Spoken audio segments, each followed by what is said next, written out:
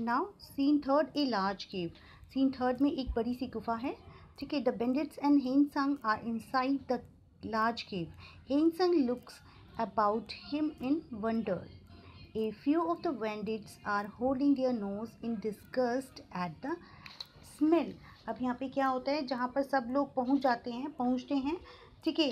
डाकू और bandit one and bandit two और जो वेंग सांग है, वो सब एक गुफा पर पहुँचते हैं। वो कौन सी गुफा थी? जिसे जेकाल यूज़ करते थे। ठीक है वेंग संग उस गुफा को बड़े आश्चर्य से देख रहा है और कुछ जो है, डाकुओं ने अपनी नाक को बंद किए हुए हैं ताकि जो गंदी स्मेल है वो उन्हें ना लगे, क्योंकि जो स्मेल है वो काफ़ी गंदी है, जिस वजह से अपनी उन्होंने नाक पकड़ी हुई है। ओके? द बेंडेड लीडर है ना? This is the famous Buddhist cave I was telling you about can't you feel the Buddha's holy presence अब ये बोल रहे हैं कि यह एक बुद्धिस्ट गुफा है, जिसके बारे में मैंने तुम्हें बताया था। या तुम बुद्ध जो है, बुद्ध की पवित्र आत्मा को फील नहीं कर सकते हो? वो बोल रहे हैं।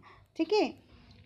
तो हैंगसंग बोलते हैं excited yes yes I can हाँ कहते हुए हाँ कहते हैं हाँ हाँ मुझे फील हो रहा है, मैं कर सकता हूँ। Bandit leader winking at his gang और जो बैंडेड लीडर हैं, अपने गैंग की तरफ़ आँख मार कर कहते हैं they say that even today so many years after the Buddha's death his shadow appears on the cave wall from time to time कि बुद्ध की डेथ के इतने सालों बाद भी इस गुफा की दीवार पर जो है, बुद्ध की परछाई, यानी टाइम टू टाइम दिखाई दिखती रहती है। ठीक है? वेंग संग बोलते how kind of you to bring me to this wonderful cave है ना?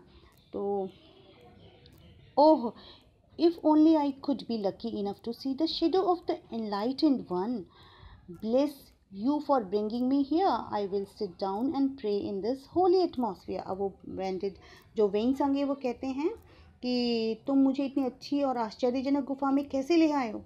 मैं बहुत ही लकी हो जाऊँगा यदि मैं बुद्ध की परछाई देख सकूँ। तुम मुझे यहाँ पर लाए हो, तुम्हारा भला हो। अब मैं यहाँ पर बैठ जाता हूँ, यानी कि इस पवित्र वातावरण में बैठ जाता हूँ और पवित्र आत्मा की प्रार्थना करता हूँ।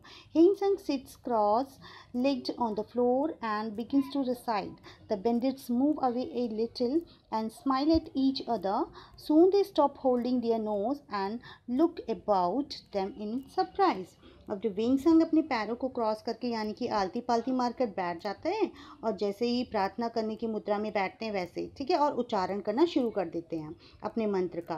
बेंडेड वहाँ से दूर चले जाते हैं और दूर जाकर जो है एक दूसरे को देखकर स्माइल करते हैं, ठीक है, यानी कि हँसते हैं, ठीक है।